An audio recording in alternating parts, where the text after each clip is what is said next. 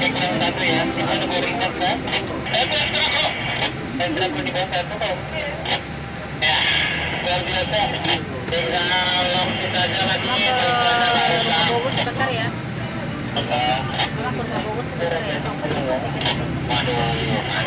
sebentar aja. Kita kalau dua apa extra kok. Assalamualaikum.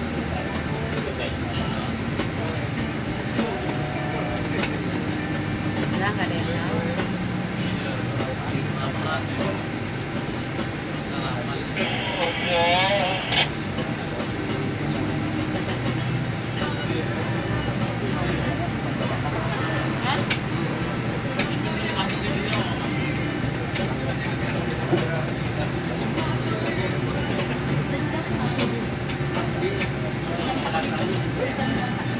Ya.